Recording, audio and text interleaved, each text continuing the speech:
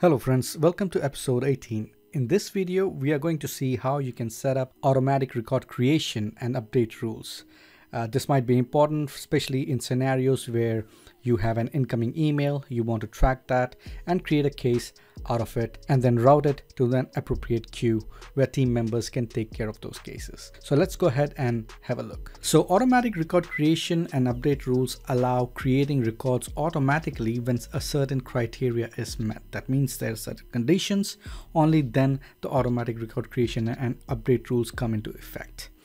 Now the source type can be email, can be phone call, appointment, tasks, social activity, service activity, alert subscription, invite redemptions, portal comment, and survey activity. Now, these are all the activities uh, out of which a case can be created. Now, as you have seen in previous videos, we can create case out of an activity. And of course, if we combine that with automatic record creation, uh, you know, cases can be created automatically and can also be routed automatically. Now, you need to activate the rules before they can be utilized. Uh, and it is also possible to send and the created record to a specific queue. Now, there are different record creation conditions available for each source type.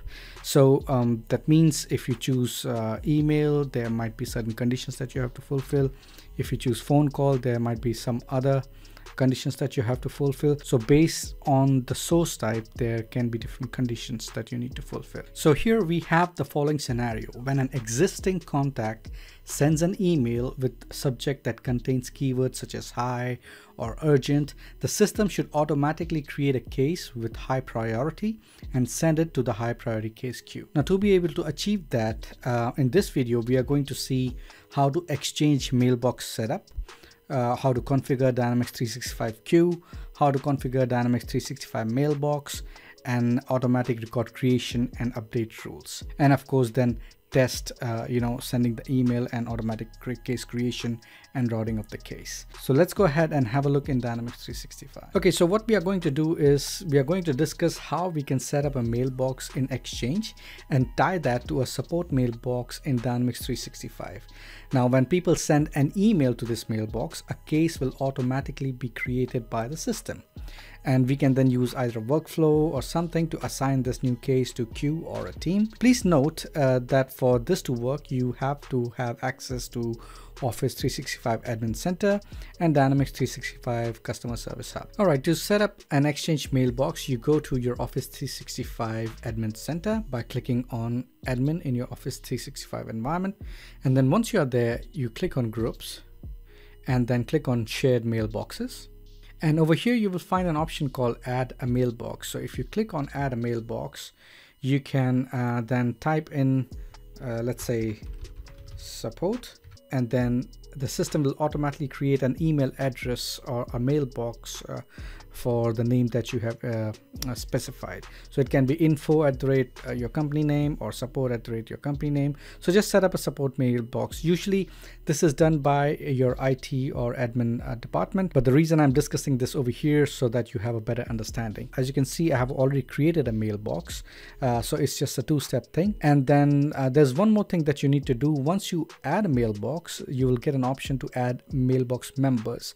So just add mailbox members who will have access to this um, uh, support mailbox and then you might get a message saying that you know uh, the mem members were successfully updated and it's important to note that it might take up to 60 minutes for the changes to uh, be effective in your Outlook or OWA. So there might be a little waiting period before uh, the changes come into effect. So as far as the mailbox uh, is concerned, this is the thing that you need to do.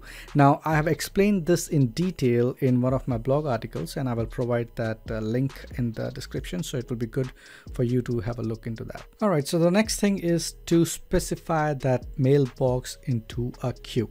So we already have um, a queue uh, that we had created in episode 17. So you can have a look into that. So we'll just use that uh, queue at the moment. Uh, for the high priority cases.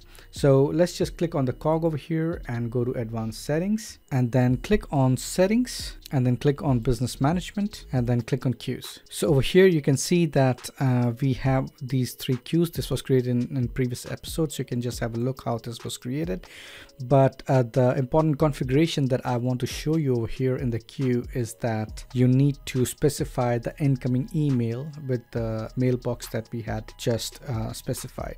So over here in the incoming email in the queue, you need to specify the email. And the other two settings that you need to take care of is the convert incoming email to activities. So uh, set this up to all email messages and uh, just specify the mailbox as high priority queue. So the other thing that you need to do is configure the Dynamics mailbox. So over here, if you click on the mailbox, which is the high priority queue mailbox, the settings that you need to take care of, you need to specify the incoming email as server-side synchronization or email router, and you need to specify the same for outgoing email. And once you have done that, then you click on approve email and then you click on test and enable mailbox and once that is done um, the outgoing email status should change to success. And if it is success over here then you have configured the dynamics 365 mailbox successfully. Okay, so we have configured our shared mailbox in Office 365, uh, provided the email ID in the queue setup, and have also configured the mailbox in Dynamics 365. So finally, we come to automatic record creation and update rules. And for that, let's just click on this cog and click on advanced settings and then click on settings and click on service management. Under the service management, you'll find an option called automatic record creation and update rules. So if I open this, I have already configured uh, one over here, but let me just take you through uh, what all is involved. So the first thing that you do is click on new to create a new record. And in that record, you provide a logical name like I have specified over here, like email, incoming, high priority cases, and then provide a source type. So, so the source type can be email, phone, or whatever. But based on the source type, the options that you see over here will change. So in this case, we have selected email and the queue, of course, the high priority queue that we have set up, we have selected it over here. Now, apart from all this, I have selected one more option which says create records from email from unknown senders and I've selected that as yes. The reason why I've done it is because if there is uh, a person uh, who sends an email to the support inbox and if he or she is not available in my contacts list yet i should be able to track those emails and create cases based on those emails. Now once you save this um, this section over here specify record creation and update details will get enabled and you would be able to add more records over here. So what this does is these are the items for the record creations and you can specify conditions over here. So the criteria or the conditions that I've set up for this record creation and update rule is like this. I have provided a logical name like create high priority cases and the conditions that I've selected uh, is either the email description contains a keyword like high or it contains uh, a keyword like urgent. Based on this criteria, it will look at the email and if the description contains high or urgent, any one of those, a case should be created. And how that will be created, for that I have provided the action.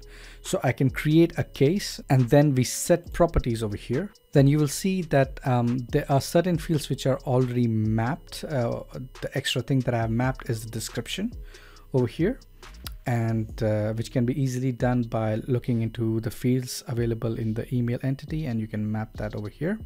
And the other options that I have provided is I have provided the priority to be high. That means when the case is created, the priority would be set to high and the owner will be set to uh, the MOD administrator over here.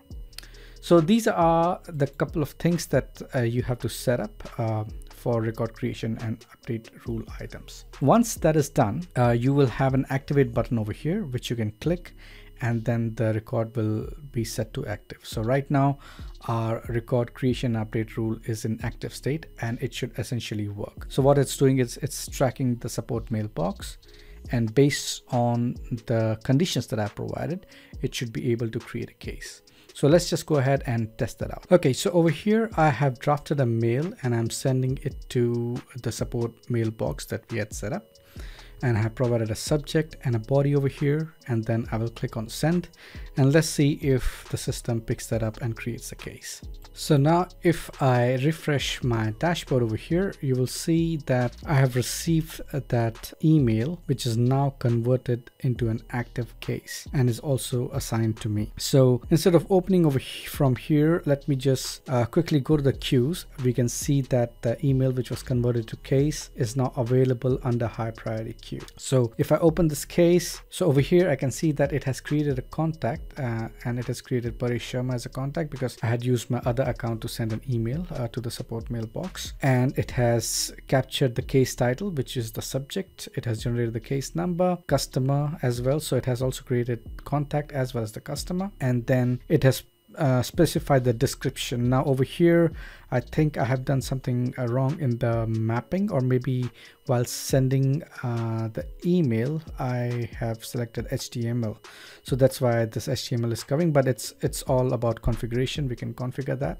So uh, the thing is that it is bringing the body in the description over here and then it is updating the timeline and uh, it is also set the priority to high and the reason why it is set because it found the keywords like urgent or high in the description of the email that I had sent. So why don't you go ahead and try it out for yourself.